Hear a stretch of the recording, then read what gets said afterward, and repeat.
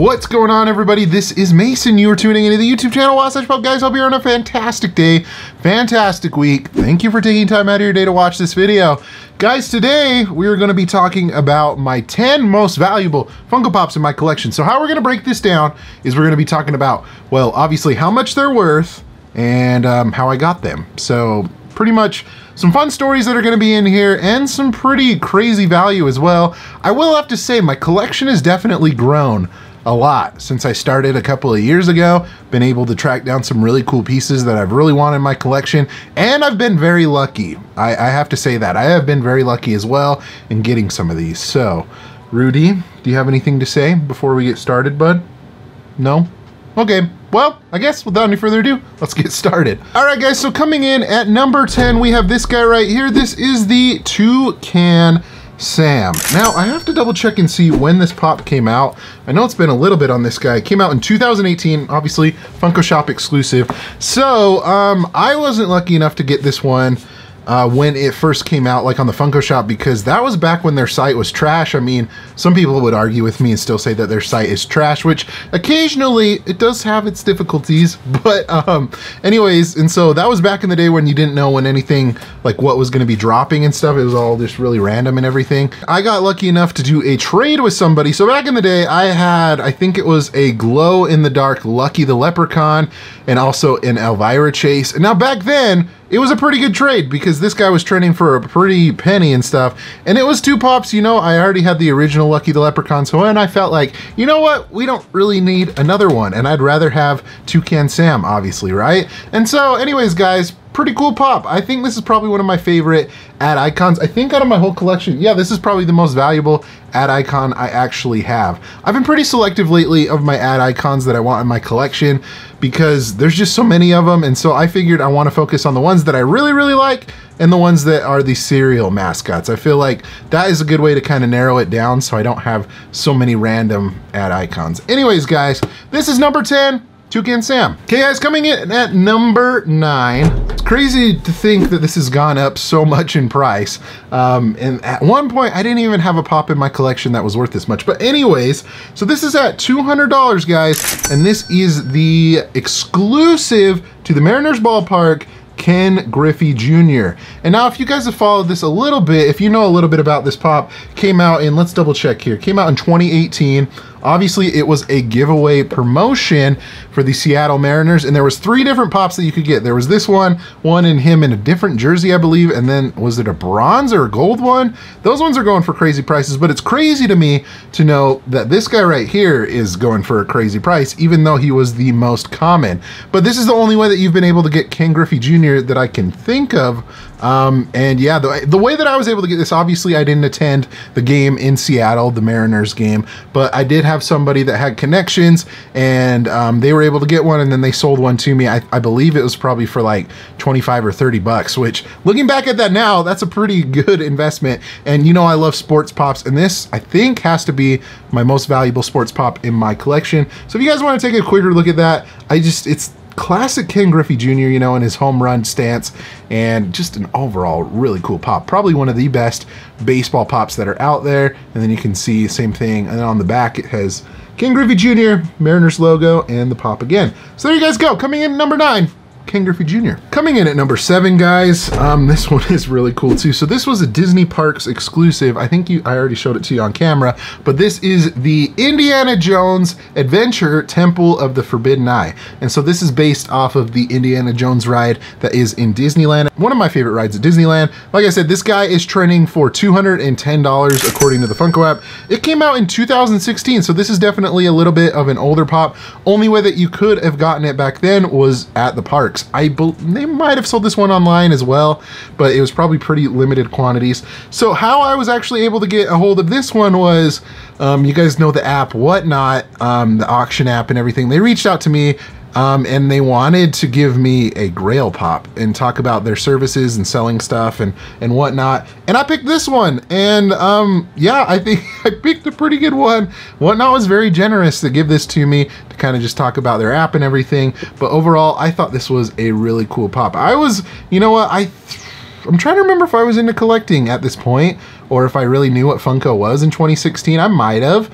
But um, yeah, I'm really happy to have this in the collection. Obviously, there's other Indiana Jones pops that are out there, but this one is the only one that I have and is definitely a really solid one to get. But if you guys are wondering, there's kind of the more the back of the box right there and kind of explains the whole situation with like the ride and stuff. Anyways, guys, Indiana Jones number eight. So from 2017, this was a San Diego Comic Con. Yeah, San Diego Comic Con exclusive, limited to 2,000 pieces. So it's pretty, it's pretty limited. And it's this guy right here. This is the Stupor Daffy Duck. And so the only way that you were able to get this was they had like a pop-up shop, I believe.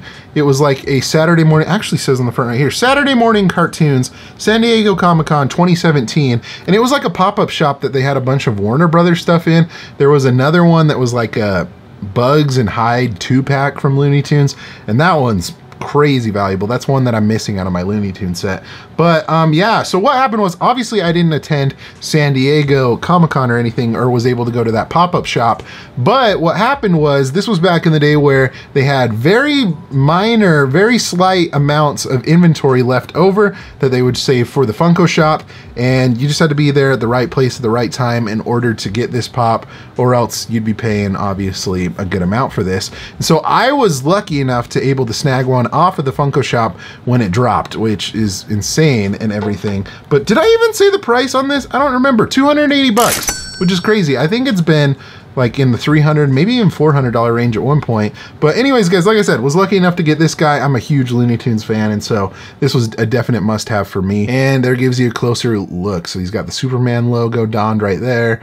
And um, yeah there's another look on the back right there. And i think this was before they came out with more commons like bugs bunny and daffy duck. So on the back you will see the duck dodger set. But anyways guys this is an awesome pop, and this is in at my number seven spot. Coming in at number six, this one, the value might be a little bit misleading, and you will see why, but we're gonna just throw it in here anyways, because according to the Funko app, this is my sixth most valuable pop. This came out in 2019, was a San Diego Comic-Con exclusive, and one of the coolest two packs that I own, this is the Carl and Ellie Up two pack. So there you guys go man, the glare on that is awful because there's a pop protector on that. But um, this is probably one of the coolest two packs that are out there. The way that I was able to get this, oh, and I, I didn't even tell you the value. The value of this, $290. So like I said, this could vary because this is the shared sticker exclusive rather than the actual convention sticker. So it's probably closer to like a hundred and something. It would have made this list, right? So we'll just keep it at what spot it's at right now. But um, yeah, I was able, they shared this pop with Box Lunch, and that was the way that I was able to get this. And I don't think a lot of people saw this one being super valuable. A lot of people really liked it because the molds are on point, guys. I mean, it's Carl and Ellie as kids. Definitely a classic scene from the movie, and I, honestly, it's probably one of the best two packs of all time, in my opinion. But um, yeah, I don't think a lot of people saw this you know, exploding the way it did in price. But lucky to have it. I'm a huge Pixar fan, and so I'm happy to have this in the collection. So this is coming in at my number six spot, the uh, Carl and Ellie 2-pack. Woo! Guys, we're about halfway through. Well, actually, we are halfway through. So um, we're gonna move on to number five. This one is a part of probably one of my favorite lines to collect. This one came out in the, you know, beginning days of Funko in 2011 and is trending on the Funko app, according to the Funko app, 380 bucks. This is Bart Simpson, the original Bart Simpson. And this is, I think, number three in the television line. You know something's gonna be fairly valuable if it's super old and it's kind of, you know, one of the beginning ones in that line. I think it's cool that they started off Simpsons with the television line. I guess you could argue it could be an animation as well. But um, yeah, I got a really good deal on this one. So this was coming from Colors Funko Pops, I believe, over on Instagram. And um, what I did was I sold off some of my old Pops in order to get this one. He gave me a really solid deal on it as well. And um, yeah, overall, I, I don't think there's really any damage to it, which is really hard to find with pops that are this old, over 10 years old. And so, like I said, this is one of my favorite pops in the collection. And it's just interesting to see kind of how the molds of pops have evolved. You know, it's kind of a little bit different now. It's just a little stockier looking. back in the day, back in 2011, but this definitely looks really cool. And I'm glad to have this in the collection. Um, well, a little bit of a spoiler for you. Maybe we'll just talk about it later. But anyways, guys, coming in at number five, we have Bart Simpson. Okay, next up, guys, this was a part of that Saturday morning cartoons thing that I talked about for San Diego Comic Con. This came out in 2017 and is limited to a thousand pieces. Guys, this is the Looney Tunes Pete Puma. And so this one is definitely a pretty solid pop. Really hard to track down the fact that it's a thousand pieces, but it is trending just as the same price as Bart for 380 bucks. And now obviously I wasn't able to go to San Diego Comic-Con to go to that pop-up shop. So the story on this guy was I was browsing Mercari and I came across Pete Puma and it was in really good condition and had been up for not very long. And so I messaged the seller, made him an offer. I think they were listing this for like I don't remember, like 85 and I offered them 75 and they sold it to me. And looking back at that now, it's gone up like crazy, like over $300 in value. So I definitely got a good deal on this, guys. I don't know about you, but I I think I got, came out pretty good on this. But Pete Puma, guys, really cool pop, and it's, um, I don't know, it's honestly, well, obviously it's going to be one of the harder Looney Tunes to track down because it's so limited, but um, yeah, pretty cool. And on the back right there, it's just going to show the Duck Dodgers pops. But um, guys, this one, very valuable. I love the Looney Tunes. Happy to have it in the collection. Coming in at number four, Pete Puma. So if you guys know what I'm a fan of, you probably know what remains in the last three pops, but this came out, was in one of the original pops back in, well, it says it 2012. Maybe it's 2011. I don't know. According to the app, it says 2012. But anyways, guys, this is a $400 pop, and it is the one, the only Mr. Homer Simpson. And honestly, this one is really awesome as well. And I got it from the same person I got Bart from. So for Colors Funko Pops, I, you know, something that I like to do, and I don't know if people like this or not, but I find uh, pops on like Facebook Marketplace for really cheap that are worth a lot, and that is able to, you know, to sell, to trade up to something more valuable. And so in reality, I probably spent a fraction of what this is really worth. So it's pretty awesome. But I'm a huge Simpsons fan, and this was one that I definitely needed. And uh, Colors Funko Pops gave me a great deal on this as well. So always big shout out to him. He's a big Simpsons collector. And I don't know how he had two of these, but he did have two. And so that was how I got this guy. But um, yeah, so if you guys know how this video is going, you might be able to guess the last two. But um, Homer J. Simpson, he's got his little donut right there, side of the box, back of the box with the rest of the pops. Really solid, that's my number three most valuable pop. Coming in at number two, you know, talking about my one of my favorite things um, that I enjoy is The Simpsons. So, you know, we can't leave out this pop right here. Came out that same year, trending for 460 bucks. We have the one, the only Marge Simpson. And like I said, it's kind of interesting to see how these pops have come a long way. It'd be interesting to see what they'd make Marge like nowadays. It would definitely look a lot better. And maybe, I don't know. It's just, these molds are just classic, right? They just look different. But um, yeah, I got this one is it, I'm trying to remember what the place is called. Is it Morse Comic Book Stash? I, will have to double check and see where I got this from, but it was from a shop back east, and they had this before it went up like crazy in price. It was listed at like 300 and something, and now, like I said, it's at like 460.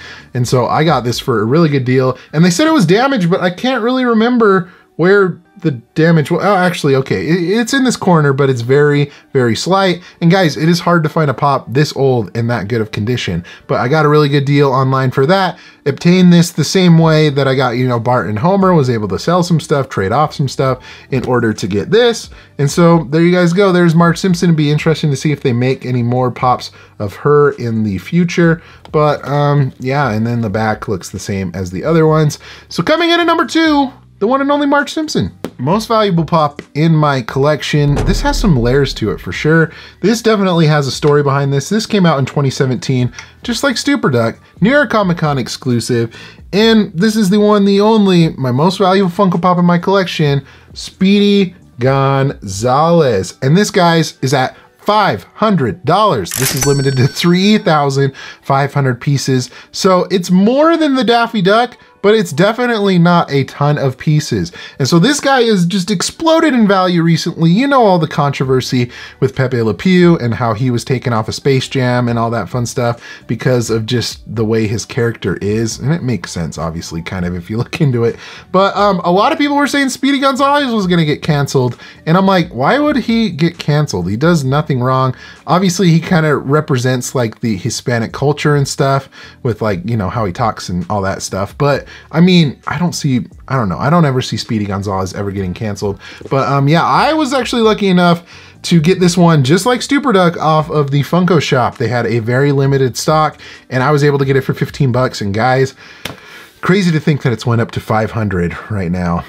Insane, guys. What a value. And I didn't think, I mean, Years ago, I would have not thought that this was going up to $500 or that I'd have a $500 Funko Pop in my collection. It's nuts, guys. But closer look at Speedy Gonzalez probably, I, you know what? I'm not going to say probably. I think it is the coolest sculpt the Looney Tunes pops. Love his huge sombrero and everything. And, you know, it just is Speedy Gonzalez to a T. It's kind of interesting how his mouth is open on the pop, but on the um, art of the pop, it's closed. I just noticed that. That's kind of interesting. But on the back, it's got the um, Duck Dodger set as well. But this definitely is my favorite pop if not one one of my favorite pops, if not my favorite pop in my collection. 500 bucks. Number one, Speedy Gonzalez. Woo! All right, guys. So, um, yeah, the top 10 is pretty pricey. And, you know, that could change over time. But I think our, our top 10 is going to remain the same, at least the pops that are going to be in it for a good solid amount of time. But let me know in the comment section below, what's your most valuable pop that you have in your collection? How much is it worth? Let me know in the comment section below.